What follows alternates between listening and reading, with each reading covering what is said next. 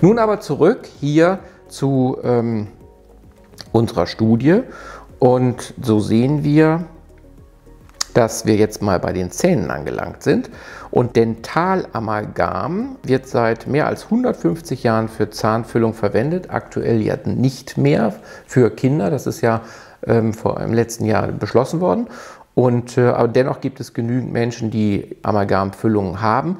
Und es äh, kommen auch ähm, aus äh, Flüchtlingsländern immer wieder Menschen zu uns, wo es auch äh, Standard ist, wirklich dieses Amalgam auch einzusetzen. Und es ist auch vor einigen Jahren, auch selbst in Deutschland, nicht unüblich gewesen, dass man ähm, Amalgamfüllungen mit der Hand knetet und das zum Teil auch noch ohne Handschuhe und wo man eben auch äh, keine Absaugvorrichtungen hatte, um eben bei Erhitzung oder bei hochtourigen Bohrern, wo sich das ähm, Metall erhitzt und dann eben auch verdampft, sowohl als Therapeut als auch den Patienten zu schützen. Also wir sehen hier, das Amalgam besteht zu etwa 50 Prozent aus diesem metallischen Quecksilber, über das wir ja eingangs gesprochen haben. Dazu kommen Silber und Kupfer, das sind also die Dinge, die man dann natürlich auch in der Ausleitung findet, wenn man das mit einer Amalgamsanierung vergleicht, also begleitet jetzt die Chelierung. Und das haben wir auch schon in unserem Amalgam-Video gezeigt, dass das genauso ist. Und es gibt kleine Mengen anderer Metalle, wie zum Beispiel Zink.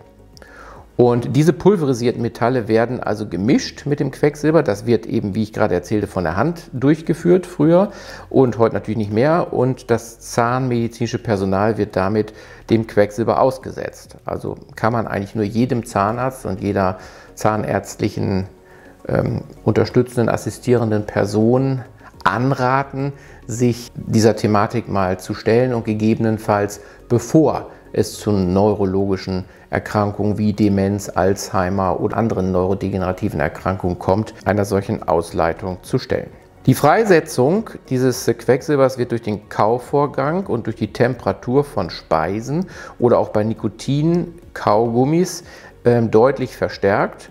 Der Quecksilbergehalt im Urin spiegelt eigentlich so die Anzahl der Amalgamfüllungen wider, hat man rausgefunden. Hier die Studie unter 12 äh, im Anhang dann sozusagen auch aufgeführt. Und es kann zu allergischen Reaktionen in der Mundhöhle kommen, also auch sicherlich autoimmun, auch so eine Art Liechen kann sich dort entwickeln.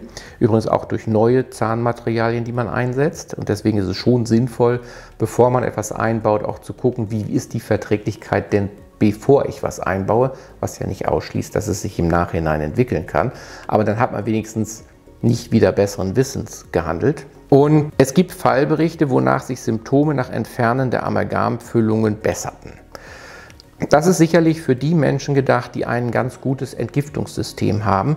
Diejenigen, die dort Einschränkungen haben oder die im Bereich der Mikronährstoffe nicht gut versorgt sind, werden natürlich diese positiven Effekte wahrscheinlich leider nicht erleben. Daher ist es umso wichtiger, dass man auch das untersucht und das eben in die Optimaldosis bringt. Dann hat man Quecksilber bei Morbus Alzheimer geschaut und hat gesehen, dass die Gehirne von Alzheimer-Patienten diesen erhöhten Quecksilbergehalt auch wirklich aufwiesen. Und es kam zu Membranschäden.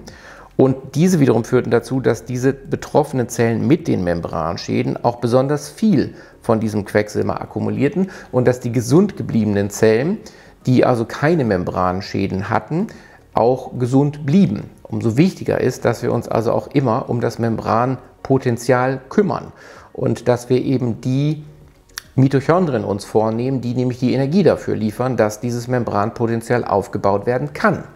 Die meisten Kanäle für das Aufrechterhalten des Potentials notwendig sind, wo die Elektrolyte hin und her transportiert werden, sind nämlich energieabhängig, ATP-abhängig. Und ATP, unser Brennstoff, hat eine Halbwertszeit von 5 Sekunden und muss bei Bedarf immer wieder neu produziert werden. Den können Sie sich nicht auf Halde legen, da können Sie keinen Akku, kein Nickel, was ich Cadmium-Akku für anlegen, da hilft Ihnen dieses Metall auch nicht. Und ganz im Gegenteil, wenn Sie unter Strom stehen, wird mehr freigesetzt. Also es gibt auch Studien, hier wahrscheinlich jetzt nicht gleich drin, aber es gibt auch Studien, kann man auf meiner Homepage googeln, die unter dem Einsatz von Smartphones oder dem Einsatz von Magnetresonanztomographen, allerdings die wirklich hoch Tesla-haltigen, also 7 Tesla, 8 Tesla, ähm, zu einer deutlichen Mehrfreisetzung von Metallen im Speichel führen. So, die Auswirkungen sind Einschränkung der Denkfähigkeit. Das wurde epidemiologisch auch hier gut erwiesen. Dann gibt es das Methylquecksilber, was überwiegend im Fisch ist. Und Fisch ist heute einfach nicht mehr gesund in der Form. Nicht? Wir haben, oder ich habe zum Beispiel gestern Abend auf N3, gestern war also der 13.10.2020, ähm, einen Beitrag gesehen von den Rainbow Warriors, also von Greenpeace, die seinerzeit hier in Bremen und Bremerhaven dafür demonstriert haben und ihr Leben auch riskiert haben, um die Dünnsäureverklappung vor Helgoland zu reduzieren. Und auch heute ist es noch so, dass die Hafenschlemme aus äh, Hamburg zum Beispiel, in der Nordsee verklappt werden. Und wir haben vor Cuxhaven, Döse, Dunen Schlickfelder, die dadurch entstanden sind, weil Ebbe und Flut diese ähm, giftbelasteten Schlemme eben auch wieder in das ähm, Kulturgut Norddeutsches Wattenmeer tragen und wo man also Gefahr läuft zu versacken. Aber eben würde ich auch da keinen Fisch mehr essen, weil vor allen Dingen alles, was dort gründelt oder was dort mit Muscheln behaftet ist oder auch echte Raubfische natürlich deutlich erhöhte äh, Belastung mit toxischen Metallen hat.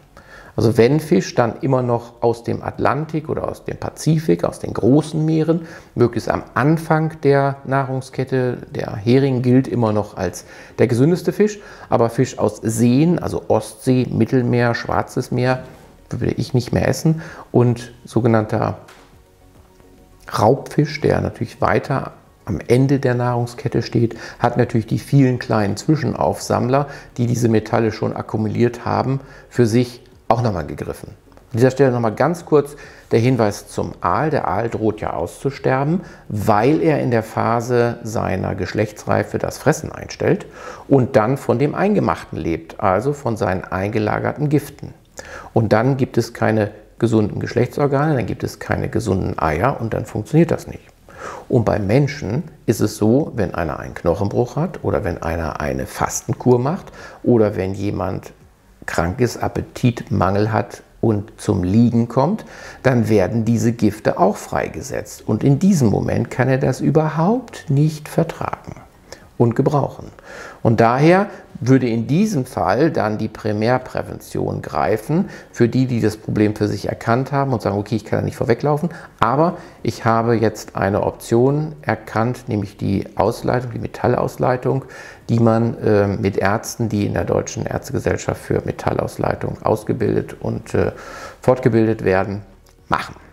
Man sieht also, hier gibt es auch Mengen. Nicht? Man sieht also bei ähm, Zahnarztpersonal, dass es zu einer Erhöhung der Quecksilberkonzentration im Urin auf über 500 Nanomol pro Liter führt, mit chronischen Denkstörungen. Ähm, wenn sich das im Frontalhirn festsetzt, dann kriegt man auch Persönlichkeitsveränderungen, das darf man auch nicht vergessen. Und das führt natürlich auch zu sozialen Störungen, die man da hat. Und darüber hinaus wurde allerdings auch mal gezeigt, dass Langzeiteffekte auch mal nicht beobachtet wurden und dass es auch hier zwei Studien oder eine zumindest gibt, die in Bezug auf das Risiko von Schwangerschaften oder für angeborene Fehlbildungen keinen, kein Risiko nachweisen konnten. Dennoch anorganische Quecksilberverbindungen werden, äh, wurden breit eingesetzt. Früher hatten wir auch noch